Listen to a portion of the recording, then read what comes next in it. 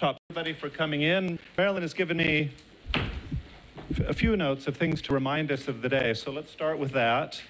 Um, this, uh, this guy, if you could take it, your version of this thing, and turn it to airplane mode. And we'll just treat this as one nicely proportioned airplane for the day. Um, uh, and keep it off during the day if you can. And I don't have. Uh, here's one right here. Everybody seen a copy of this already? Everybody got your version of this? The largest booklet in there on the undergraduate school this year. You're going to want to keep it as I have over here. And throughout the day, just scribble notes into it. Keep track of what the tutors are saying and what the plans are for the year. If you don't have a prospectus, you can grab them up at the front desk. We've got a stack of them up there just opposite uh, Philippa. Um, the year-long unit briefs should be online on the website. If not, that's a part of the equation today you'll want to take into account. So after listening to the introductions, go online later today, have a look at those year-long briefs. The tutors have worked really hard over the last few weeks to put together uh, a pretty thorough account and plan for the year, and it'll help you think about what everybody's trying to do and, and what they're talking about in these presentations. The other thing we're going to do today at 1.30 in this room, so, so today is organized into a morning and afternoon session. At the lunch break, during the lunch break at 1.30, for any of you who are interested, come back in here. And before we kick off the afternoon unit intros, We'll do a question and answer session again. We've invited in a few students who've been through the process before. I know a lot of you are new to the AA unit system as of this morning, so you might have questions. The best people for those kind of questions are always students that have been through the process, and they'll be happy to help you out again. So that again, that's 1.30 in here for maybe 15, 20 minutes. There'll be a short break after that, and then right at 2 o'clock, we'll kick off with the afternoon session. Um, registration for all returning students. Could I see this piece of paper? Everybody got a copy of this sheet? Marilyn has got some extras over here. Everybody needs one copy of this. All returning students, if you haven't done it yet, you must register before you're able to fill this form in and turn it in tomorrow morning to select units to interview with. We are doing reg registration for all returning students all day long, upstairs, off of the terrace, in the rear presentation room, okay?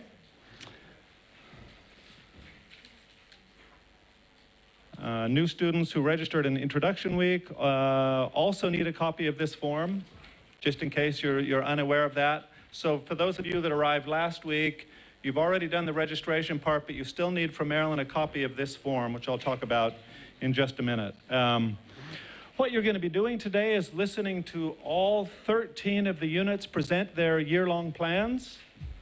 We've asked each of the tutors to do the impossible, which is over about a 25-minute presentation, present a summary of what they're going to do over the next 32 weeks, working with all of you in each of these units. It's a tough brief they have to try and explain that. Um, having sat through yesterday's fantastic uh, diploma intros, all I can say is embrace the entire day and not think it's about you figuring out which of the half hours is most worthwhile for you. The entire day will be worth your while. And the reason for that is these things aren't, aren't opportunities for unit masters to advertise units or to sell their worlds to you, however much it might seem like that at the beginning. These are really interesting statements about where architecture is today, seen from the perspective of our unit masters throughout the day. Enjoy the entire day's presentations on that front. What you're going to do at the end of that process is something really hard, which is try and think of the two or three units that you'd like to have an interview with tomorrow to think about as a home for the rest of this year. Not a straightforward thing to do. We're going to give you the overnight to think about that. As I said earlier, go home, have a look at the year-long unit briefs. At the end of this day's session, like we did yesterday, you all are going to be invited into this room. Am I right that we're here? Into this room with all of the unit masters for a chance for you guys to talk to the different unit masters. And my advice is very simple. Go up and introduce yourself. Tell them what you're interested in. Have a question or two about the presentations. Grill them if you want. Give them a hard time show some interest in what they're doing. Um, but more than anything, just ask the questions that help you think about whether they might be the right setting or not for you for the coming year. Um, as you fill out this form, and it's a very simple one choice one, two, or three first choice, second choice, third choice. Might be tough for some of you to sort of balance out which of the others, which one is the one you want to see most. We organize this system so that all of you get a chance to have an interview with your first choice. That's all we can guarantee in this big numbers numbers operation, but, um, but, but we promise you that. So the first choice is obviously an important one for you. Um, what we do at the, it, uh, after you all hand these forms in tomorrow morning uh, is that uh, um, Belinda and Marilyn and everyone upstairs dump all of your forms on a table. We randomly sort them into the different unit first choices, assign a time for you to go in with your portfolio tomorrow and have a conversation with the unit masters. Um, and you'll be able to get that information tomorrow at about 12 o'clock after all of that sorting is done. The unit masters are ready to start their interviews. One small point uh, for those of you trying to think of a way to game the system. Um, First choices are the ones that are guaranteed. There is no such thing as two equal first choices. That's just indecision. And you got to embrace decision making. So I know it's going to be tough for some of you, but please think it through carefully. Um, a lot of you are going to be surprised because you're going to find your second or third choice people might be a better home after you've had a conversation with them. Roughly speaking, for those of you that don't know, something like two thirds of you will end up in units that you selected as a first choice. That means a third of you won't and will go on to some other unit. That's not a big deal, and it's a very regular feature of the school. As I just said, you're going to be surprised sometimes by the things that pop up in the unexpected conversations uh, or selections that are made throughout the process. Um, remember to bring in a portfolio tomorrow. You're going to need that. It happens every year. People show up and say, Sorry, I forgot my portfolio. Not a good way to start the conversation with your unit masters. The other thing you're going to do this evening, after you've had a good long think about where you might want to study throughout the year, is you're going to open up that portfolio before tomorrow morning and have a look at it not to practice. This, is, this isn't a kind of rehearsal process where you can find a way to talk elegantly for five minutes about the work you've done, but just to remind yourself that in a five minute summary of the things you've done last year or even in previous years, you can pull out those two or three or four things that you think more than anything say something about what you're interested in, why the sort of unit that you're having a conversation with tomorrow might be a good place for you to continue to learn and develop your agendas, obsessions, whatever else they might be in architecture have the total confidence on your side of the table tomorrow that you can do that in a few minutes' time. You're dealing with a group of teachers that have got a huge amount of experience and ability to read portfolios. They want to have a conversation with you. My other advice to you all is always simply walk into it as person to person in the interviews tomorrow. We're trying to find people in the right settings with other people. It's not about trying to convince people with a drawing or two in terms of making a decision. So just have the confidence and the interest to ask questions with your unit masters and to talk about your own interest. That's what they're looking for too in the process. Uh, what else for this? Um, how are we doing the setup? See, I've, I've filled my time. Good. Um, so as I said, uh, overnight, you're going to fill in the forms. Once Marilyn has countersigned them today, saying that you've registered, so that we know we've got you and can look after you tomorrow. Um, Get those forms here at 9 a.m. tomorrow morning, hand them upstairs in Studio 2. It takes us a couple of hours to work through all of the, the uh, selections to get everybody sorted and give you all interview times. At about noon tomorrow, upstairs, lists will be on the wall showing your name and the time for the units that you get a chance to interview with tomorrow. Following the interviews you have with the unit masters tomorrow, come over to Sana in the undergraduate office and confirm with her a decision once it's made. I say the same thing to you as I say to the unit masters every year that as the interviews are going on, just make decisions. If it feels right in the moment, it's right. Again, embrace that and your ability to make a quick decision. Don't let indecision run too long through the day. As you confirm that selection, downstairs with Sana so that we can confirm it with you, um, and we will be getting on with the year. Um, what else for now? I think those are the main things. This year in intermediate school, we've got 13 units. As I said, we've organized the day into a morning session, lunch break, afternoon session. Enjoy the day. No repeats, Marilyn. I did have one or two questions by people. It's a rare question you get in the intermediate school. People asking, can I go back to the unit I was in last year? In the intermediate school, no. No, you want to embrace different units. You want different experiences. We occasionally see that happen at the diploma level, although the student and unit master need to make that case jointly to the school to reassure everyone that in fact it's not just a safety blanket decision, but it's an opportunity to continue to push and develop a project that might have started in fourth year into a fifth year thesis. You all are at a different stage where you're trying to sample and learn from different unit masters and different agendas throughout the year. So yes, important point that Marilyn reminds us on. Um, I think we're ready to go. That's the main thing. Everybody enjoy the year. It's going to be fantastic. Intermediate's got a great lineup this year. As I said, skip the temptation to see the magic half hour in the day that you think is the one that makes total sense and embrace the surprise that's going to come up as you see some of the different different agendas and projects throughout the day. So enjoy it. Everybody, thanks for coming in. Summer is now over.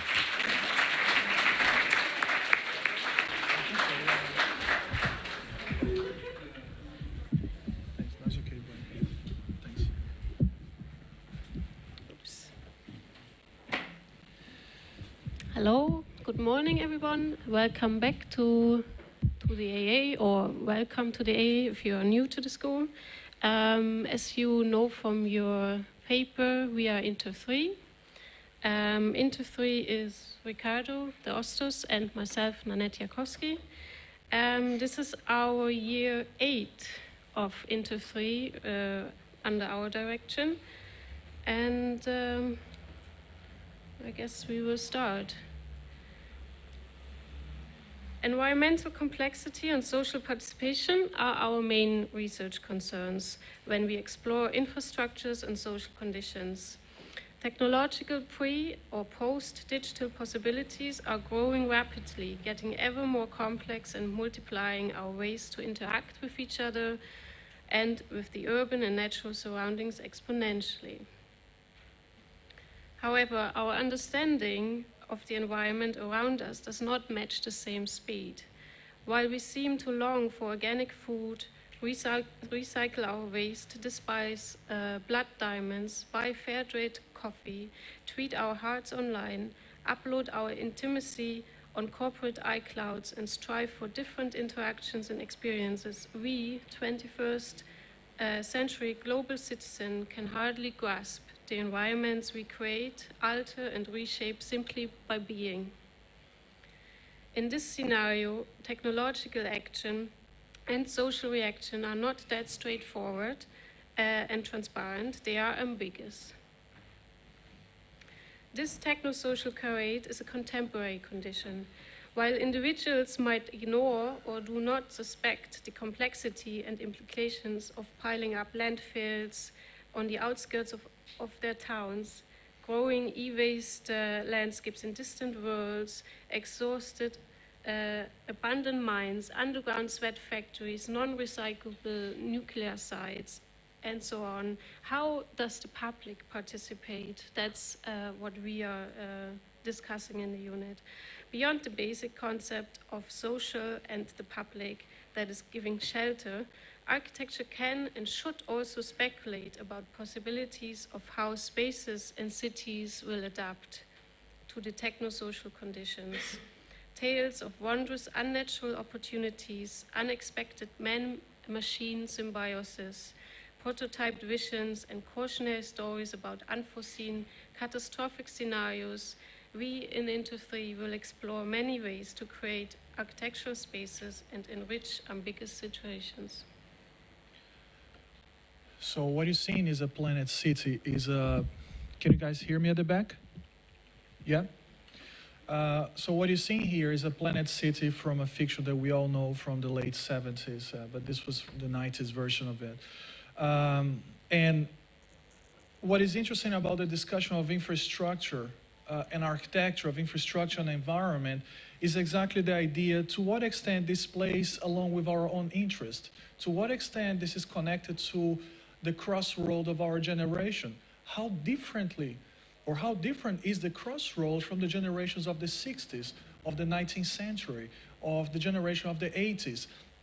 You know, what makes this uh, architectural output or architectural interest and or pool ideas, sometimes very similar, come together differently? And I think the, the discussion here today of this crossroad that we place at the unit for all these years has constantly been of how you can start connecting the notion of what, what makes us as a group, a collective, while keeping the individual part, while still being having a name and a preference above some collective uh, pressure. And it's a similar pressure, very similar to this one that we're going to investigate this year uh, of land ownership. So the idea of land, right, which is also understood as part of the topography, the geological crust on the top of the, of the planet Earth, but is also how we live, is also how we divide portions of what we live and how we can build. Um, so understanding the notion of land, of land ownership, can be left to developers. It can be left to maximizing footprints. It can be left to not understanding the role of history, understanding the role of environment with tomorrow's uh, perspectives. Uh, I think differently for that, rather than ignoring that version or antagonizing that version, we are very interested to search for new problems. What are the new problems which are current, which not even globalized world, but more of a planetary city? So what are the problems? There appears they are regulating, legislating when a, when a diamond mine appear inside the city. Or no, maybe it's the other way around. Maybe a city appears around a diamond mine. So I think the complexities of what can regulate, of what can start suddenly being a horizon of possibilities for architects also become the horizon of possibilities for the city. Because in a way, like uh, Lebbeus Woods once said, an architect, uh, architects are the stewards of, of space. So we look after it, if you like it or not.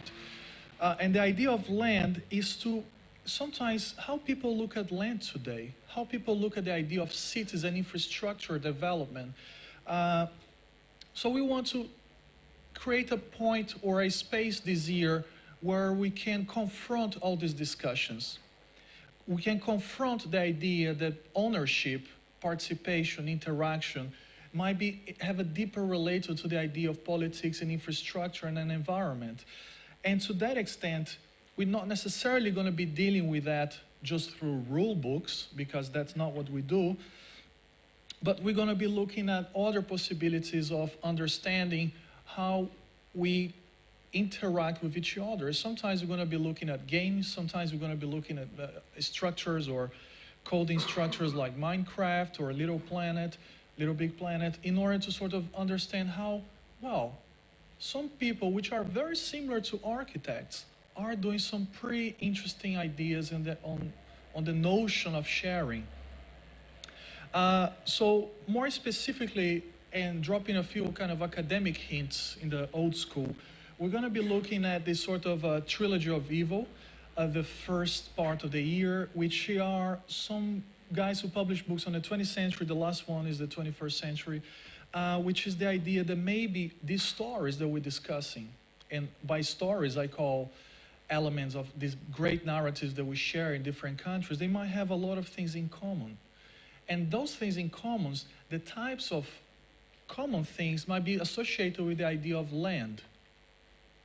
Uh, so, in the role of land, we're going to be looking at a few archetypes that differently for connecting to utopia or dystopia, they might connect to other aspects of how architecture can be speculative. In other words, it can debate things which are about to come. It can be commentary, it can throw comments or seeds of projects which might be kind of disrupting the real. Uh, but also they can be, uh, in a sense, productive. They are kind of real propositions to be implemented.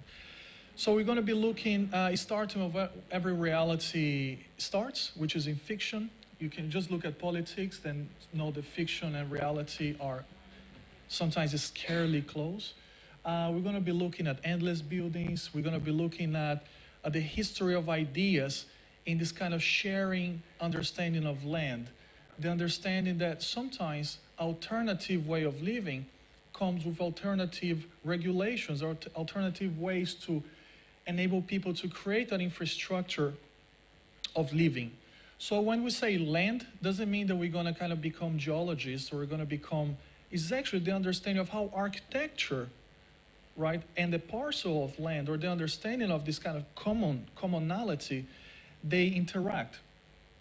So through these archetypes that we've been passing, we're going to study in order to complement, in order to create, to give space for us to think further. To because in at intermediate it's very important. Once you do research, you have the necessary space to do that, which is something that we try to do in our practice as well, just down the road in front of the British Museum. Yeah. So our practice, and Ricardo and mine, is uh, called NaJa & deOstos. Um, and we uh, also research uh, and are pretty much interested in similar um, aspects uh, that we have now already introduced. So this particular project you are seeing here is uh, called the Pregnant Island, which was a study on a uh, huge uh, dam, um, hydroelectric dam in the Brazilian Amazon, where there was a drastic and quite uh, quick change of environment uh, because due to the dam building um, before a small, well not that small, but a river uh, was then turned into a huge reservoir. So um, what used to be um, hilltops um, are now islands in the lake that you saw. Can you see there in the image? Um, that this is an image of uh, our project in response to this uh, situation, which was uh, simply uh, one dwelling for the uh, local residents that had to be misplaced due to the uh, flooding of, of the land. And um, what we did, we studied in detail, of course, the traditional way of living, but we um, inverted it and made it in a vertical way so they can still live with the with the flooding and the changed uh, environment.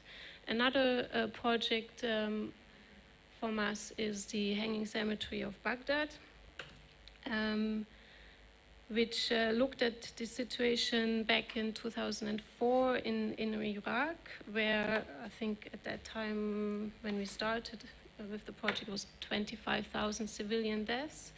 And uh, we don't know the city, we don't know Baghdad or, or Iraq as such. We only knew it through the media, through TV broadcasts and, and newspapers. So we were thinking, how do we perceive the city? Um, and how, how do we see what is going on there? So we pretty much um, elevated uh, a cemetery that is growing over the city of Baghdad uh, and casting shadow on, onto it. So as you can see, we use uh, architecture, or we use um, narrative as well to um, discuss uh, a certain problem or condition that we that we researched before. We also um, do a lot of um, installations that we build in the office. Um, that is, of course, a smaller scale than the projects shown before, but they discuss um, a same scale issue, if you so want. This is the ectoplasmatic library in Paris, which uh, looked at how, how we store information at the moment uh, or nowadays with so many digital uh, data. And uh, the installation was uh, recording the use of space via those two creatures, uh, medusas we called them, and uh, it had a reaction in the space and changing the space as well. That's uh, yesterday's futures installation uh, at the British Embassy here in London, and the ectoplasmatic housing installation in Sao Paulo, Brazil.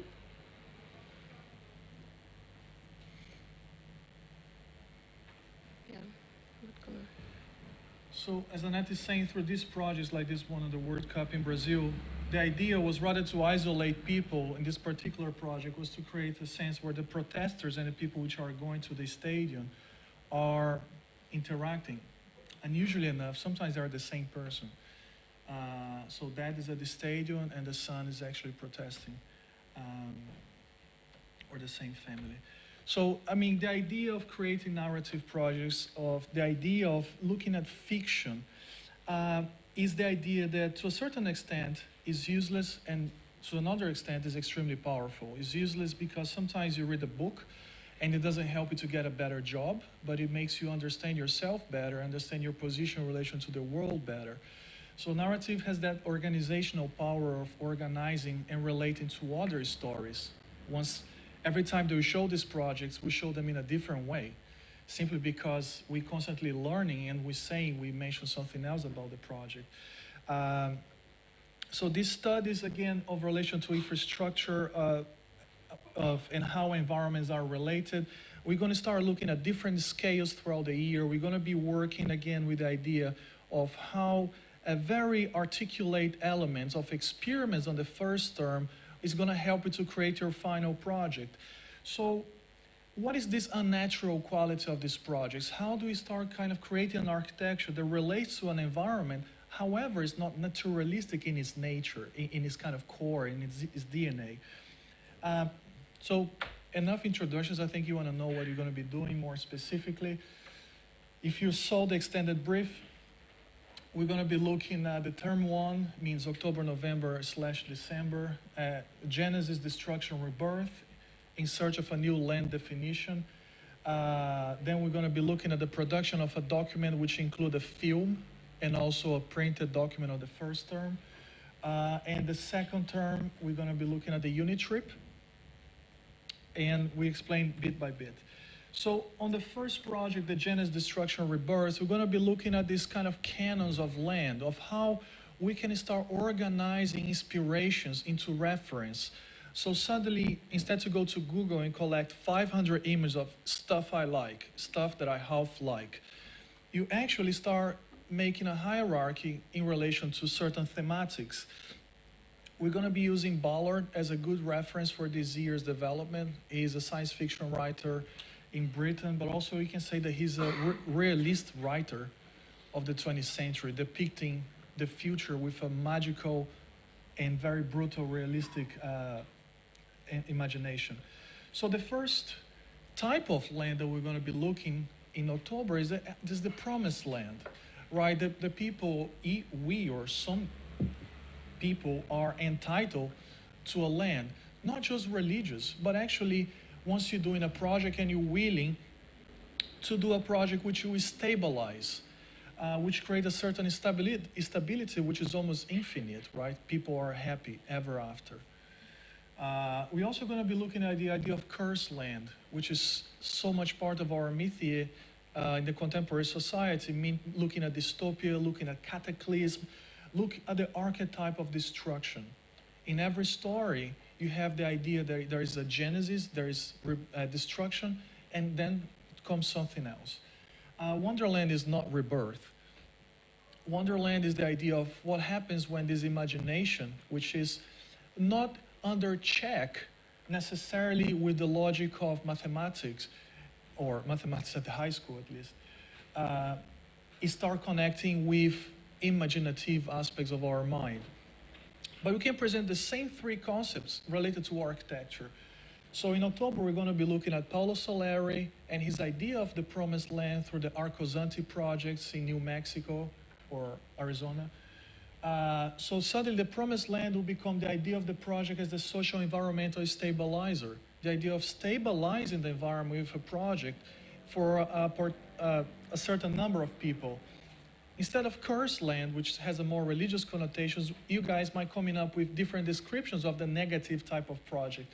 The idea of the inverted negative project, that through doing something completely opposite to the promised land, you might suddenly create an interesting discussion, highlight points which are interesting for us to move forward. Or the idea of the wonderland or the layer city. Idea of multiple places at the same space in time and a fluid time. So you have that massive overlap. Once you look at something you cannot fully understand, but you carry those memories with you. So on the first term, we're going to be looking at doing drawings. We're going to be looking at making models. We're going to be looking at imaginative ways to create space. Maybe we don't call it architecture yet, but we call it place. We call it atmospheric place uh, spaces, and we start kind of giving qualities, constructing uh, your portfolio through understanding these three archetypes.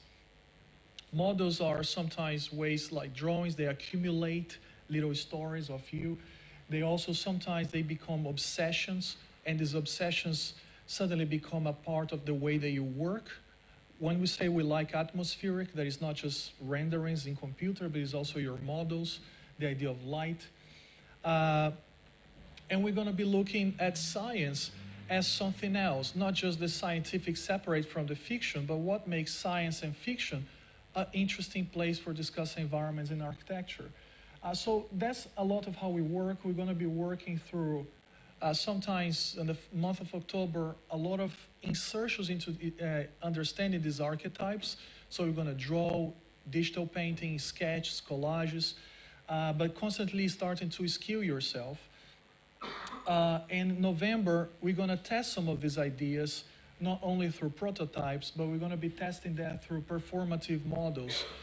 Uh, these models are part of small architectural productions that you're going to do and like a director you're going to be shooting a film about this. So you're going to curate those models producing a film to then uh, understand that understand that production understand your relationship to time understand when something changes uh, they spa- not just the space inside but the space around change with it.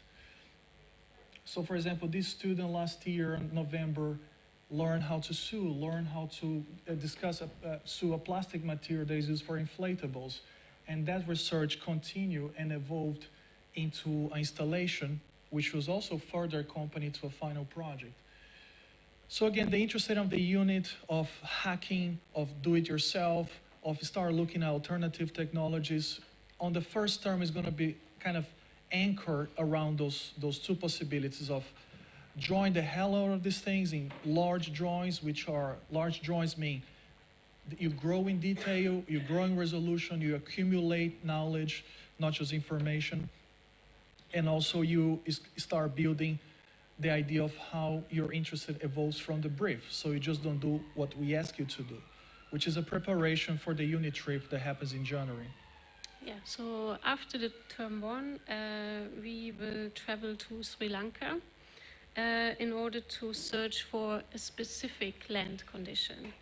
Um, as you may know or may not, uh, Sri Lanka is one of the richest ecosystems of the world, but also a country with a complex and bloody history of land ownership.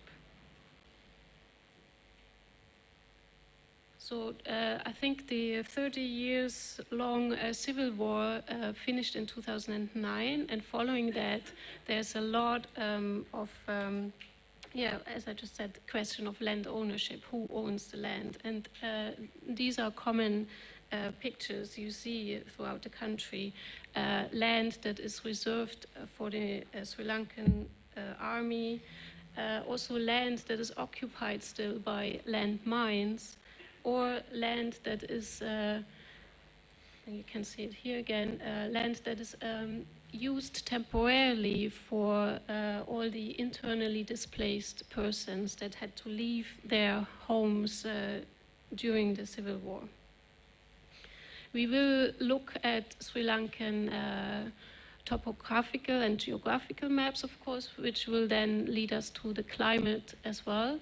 Um, it's quite interesting to look at this map because you uh, can see quite clearly uh, Sri Lanka has two zones. It's a wet zone and a dry zone, and there's nothing in between. It, it's quite clearly um, bordered, and yeah, that leads to floodings. Uh, on the other side, droughts, and we will look at how that uh, changes or how, how traditions like the traditional stilt fishing has to adapt to these uh, changing conditions. There's uh, one uh, railway tunnel, I uh, put that image there on the top, um, in Sri Lanka, which is quite interesting because on either end you can actually experience two very different climates because the, tun the tunnel starts on, on one side on the dry zone and ends on the, on the wet zone. We will look at um, Sri Lankan uh, production uh, or traditional way of producing uh, things like tea production, rubber production, um, gem mining, salt production, and always, of course, in relation to land, how land is altered or how land is used. There's another interesting fact uh, between, uh, well, Sri Lanka leaks, uh, is located in the Indian uh, Ocean, and there's uh, something called Adams Bridge that uh, might have led or connected Sri Lanka to India, which is this very thin uh, connection that you see on the uh, satellite image. And we will look at uh, conditions like that because there's a myth about it as well, how that um, was constructed or how, how it was used in ancient times. Uh, we will look at the ancient city of uh, Sigiriya, which is uh, just a massive rock that seems to have uh, come out of the earth. Uh, Dambulla Cave Temple. And of course, we will look at urban scenarios as well, um, taking the largest city in Sri Lanka as a, as a research ground, which is called Colombo. Um, so, as Nannette is saying, we're going to probably show a few works from the unit in order to end the presentation the next five, six minutes, uh, so we don't create a, a big delay on the day. But I think the idea here, as you've seen, is that the, the projects and the research will evolve, and the, the, the Sri Lanka trip is normally uh, our unit trips, our previous students know, is a slightly sort of uh, buzz round, including madness, late nights, uh, but it seems that we always bring the same number of students and the same number of people fill those numbers, which is all these years quite positive. That was a joke. Uh, so we're going to be looking at this idea of time-related places of the idea that the projects like these ones for Heracleia, uh, I've graduated last year from the school, is start understanding the necessity to create a new cartography to accumulate new pieces of land. So these stalactites, they are kind of growing, they are made out of waste and they are also connected to the idea of land. Or Eleonore, again, looking at the Amazon and creating a space or a place which is placed in the middle of the river and is controlling, is relating peoples with that infrastructure of water. Like this project, for example, in London, where we never go to the river because it's cold and it doesn't have a deep tradition of going to the river like in Varanasi in India.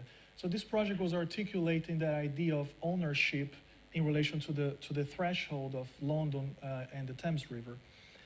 Uh, so we're constantly going to be looking at uh, how the project evolves between experiment, between design, uh, between the idea that sometimes you're going to do a project and you understand later. Sometimes you have a, an idea, a good idea of what to do, and a better idea of what you did comes after through organizing the portfolio, through drawing drawings, kind of creating that back and forth between the production and the thinking.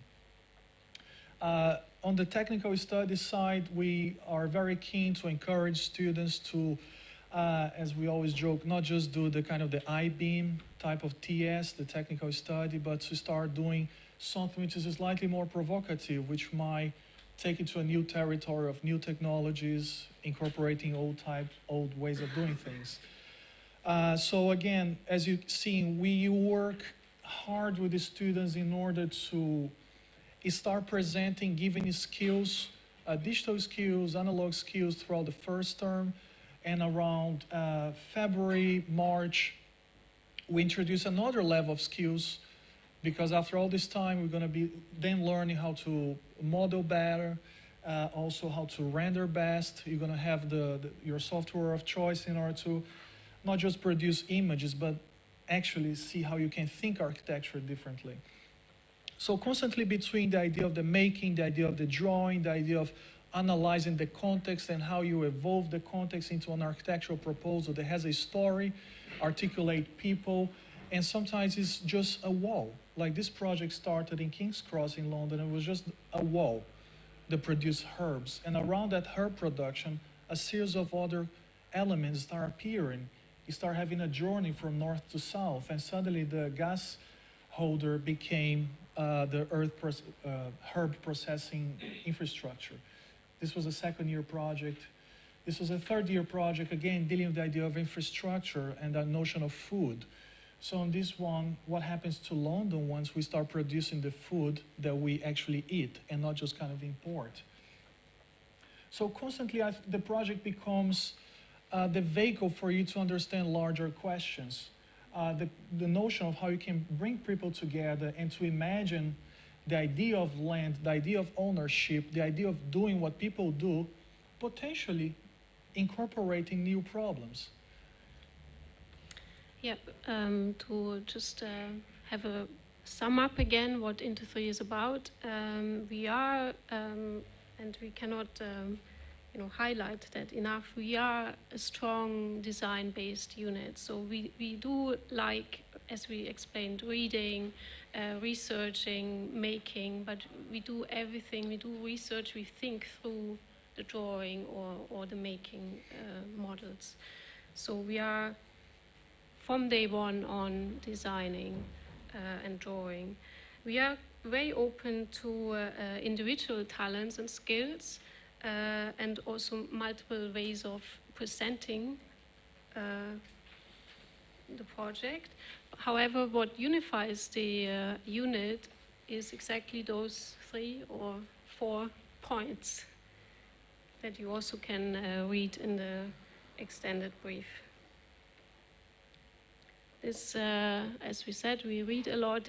Uh, a few of our uh, readings or our, our, books that are also available in the uh, bookshelf in, in the library. Uh, so just to finalize the presentation, this was a project last year. This was the RIBA Bronze Medal nominated from the school last year. Uh, from Maya again. Again, the idea that you might think, where does an image like this come from? Is it Photoshop? Actually comes from a deep urban understanding of how people have been displaced in Cambodia, the place we visited last year. An understanding they start kind of altering the axis of the city, connecting the political uh, power source of the city to the river, which is a land which is actually being, being claimed, and created a series of uh, minor lake moments in an area. There was a lake and now is a desert. So constantly understanding, sometimes doing projects which are provocative, like SJ on his second year, creating this floating uh, Zeppelin elephant-like, or creating a paper factory, which is spreading paper when poets finish their work after uh, the first kind of annual production of poetry. Or sometimes understanding that to do a project, you actually make a model first, and then you go back to the drawing, like Natasha did last year. Uh, or Patricia understanding the idea of the forest, the limit of the forest to create a threshold around that area in a series of vertical points. So, again, here the idea of fiction is constantly connected to the idea of the infrastructure and environment. So the unit has the concern and to work together with the students and professionals to start articulating the production with, the, with your own interest. And that is what narrative is about, is about the, how you can tell similar stories or stories which are existing in a completely different way because you are telling them. So the idea of architecture and storytelling here is less about uh, a stylist. We don't necessarily have a style on the unit. I think a lot of the drawings are render based, as you can see, but this is just a practice that people can choose what to do. But there are discussions. Each one of these drawings, you can talk half an hour about them, and sometimes explain the whole project.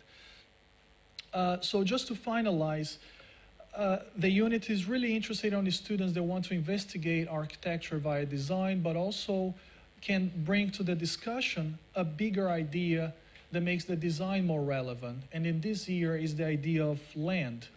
land ownership and how to study land is to intrinsically touch the nerve of architecture, the nerve of infrastructure, and one of the biggest questions of today how we can deal with environment without necessarily doing environmental architecture. Thanks very much.